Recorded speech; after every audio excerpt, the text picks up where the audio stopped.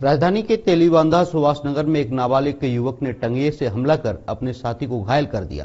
पूरा मामला पैसे के लेन देन का था, जहाँ घायल युवक सोहेल मरकाम ने नाबालिग को 500 रुपए उधार दिए थे, जिसे वापस मांगने पर आरोपी नाबालिग ने टंगिए से उसके सर पर वॉर कर दिया। घायल युवक का उपचार जारी है। घटना के बाद आरोपी नाबालिग को तेलीबांधा पुलिस ने गिरफ़्तार कर लिया है।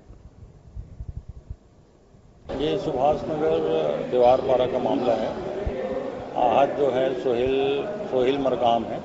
इसका मोहल्ले के एक लड़के के साथ पुराना पैसे का लेन देन का वाद हो जाता है। उसी बात पे विधि से संघर्षरत जो बालक है उसके द्वारा इस पर वह सिर में प्राणघातक चोट, वार कर चोट पहुँचाया गया है। जिस पर धारा 307 के तहत अपराध पंजीबद्ध किया गया है और विधि से संघर्षरत बालक को गिरफ़्तार किया गया